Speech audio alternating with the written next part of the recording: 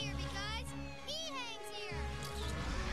Because you don't see this every day. Because we read the books. and watch the movies. And now we're living it. Because I can fly with Harry. Because now I can turn my brother back into a human being. From unforgettable adventures to the wizarding world of Harry Potter.